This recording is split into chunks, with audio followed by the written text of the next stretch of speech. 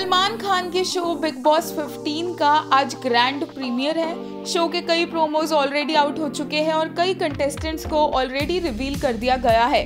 Promos को देखकर fans बेहद एक्साइटेड है। वहीं हम आज इस वीडियो में आपको बताने वाले हैं कि ऐसी कौन सी एक्ट्रेसेस रही है टेलीविज़न की जिन्होंने बिग बॉस को मना कर दिया है। जी हाँ सलमान खान के इस शो को कई एक्ट्रेसेस ने रिजेक्ट किया है। इस लिस्ट में सबसे पहले नाम आता है एक्ट्रेस सुरभि चांदना का, जो कि नागिन सीरियल के लिए काफ़ी ज़्यादा पॉपुलर है।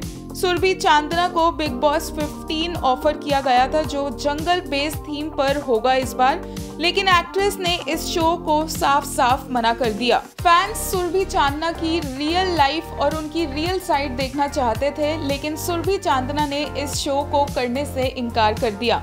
इस लिस्ट में दूसरा नाम आता है धाकड़ गर्ल के नाम से पॉपुलर हो रही एक्ट्रेस दिव्यांका त्रिपाठी का। दिव्यांका त्रिपाठी ने हाल ही में दिए एक इंटरव्यू में इस बात को कबूला है कि उन्हें बिग बॉस 15 ऑफ़र किया गया था, लेकिन उन्होंने इस शो को मना कर दिया क्योंकि उनको लगता है कि वो इस शो के लिए नहीं बनी है। और शायद उनके फैंस को भी यही लगता है क्योंकि दिव्यांका का स्वीट नेचर उन्होंने खतरों के खिलाड़ी में देख लिया है। नेक्स्ट इस लिस्ट में नाम आता है पवित्र रिश्ता फेम एक्ट्रेस अंकिता लोखंडे का, जिनको ये शो सिर्फ़ एक बार नहीं, बल्कि कई बार ऑफ़र किया गया है। लेकिन हर सीज़न एक्ट्रेस इस शो को रिजेक्ट करती आई हैं। और हर बार की तरह बिग बॉस 15 को भी अंकिता लोखंडे ने रिजेक्ट कर दिया है।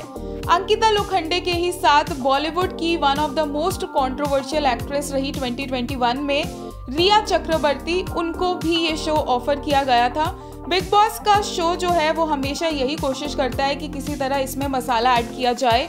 और 2020 में रिया चक्रवर्ती का नाम जिस तरह से मीडिया में उछाला गया था, वो बिग बॉस के लिए एक परफेक्ट कंटेस्टेंट रही थी। लेकिन रिया चक्रवर्ती ने इस शो को करने से मना कर दिया है। उन्होंने बिग बॉस 15 का ऑफ़र रिजेक्ट कर दिया। नेक्स्ट इस लिस्ट में नाम आता है एक्ट्रेस सनाया ईरानी का, जो कि टेलीविज़न से पिछले कई सालों से गायब है। लेकिन सोशल मीडिया पर उनकी फ़ैन फॉलोइंग अभी भी बहुत ज़्यादा है। फैंस उनको एक बार फिर से किसी टीवी शो में देखना चाहते हैं और इसी बीच में सनाया ईरानी को भी हर साल बिग बॉस ऑफ़र किया जाता है। लेकिन वो हर साल इस शो को करने से मना कर देती हैं।